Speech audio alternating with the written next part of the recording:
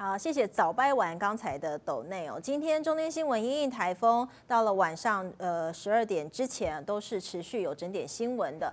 那现在也很关心放不放台风假，这其实应该是个科学问题。前台北市副市长李永平就表示了，感觉现在怎么变成了一个政治考量呢？问题是台风是会变化的，加上现在北北基桃成为一个生活圈，有时候山区达到停班停课标准，但市区还没有，也让停班课的决定更为复杂。而现在只能够希望气象署的预测能更精准。停不停台风假，放不放台风假的问题哦，其实这十几年来呢，它有政治的考量，可是它其实已经是一个科学的问题。对。那这个科学的问题就是说，看我们的气象预报准不准确。那从因为我以前也在台北市政府服务过嘛，哈，他的观点就是说，已经呢大家有一个共识，就是一旦风力的呃超过多少啊十级以上，然后呢一一雨量到达多少呢？其实你达标就会放，那你没有达标就不能放。可是台风就像。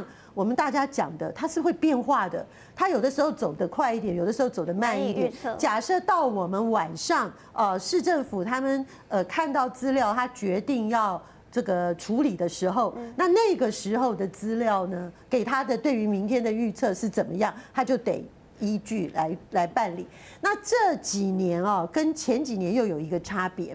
我还在市政府服务的那十几年的时候呢，北北基桃并没有联动。对，好。那现在这几年呢，啊，呃，已经确定一定联动。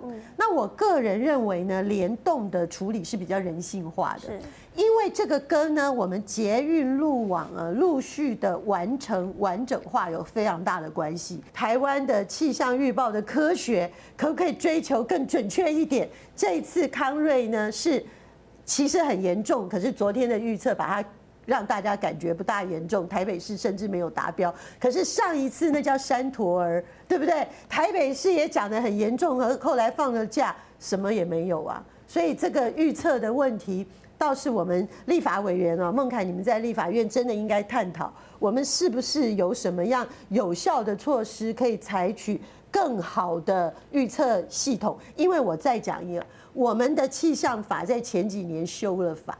呃，有别的气象预测，非中央气象局的，即使预测跟它不同，你还不可以采用。嗯，你新闻媒体如果采用的话，他还要给你罚款，认为你采用了非官方的讯息，所以这怎么办？所以如果我们自己的中央气象预报机构一直这样不准，那大家的困扰，地方政府要一直承担吗？办办这个刘德华演唱会的单位他要去承担吗？大家真的会受不了。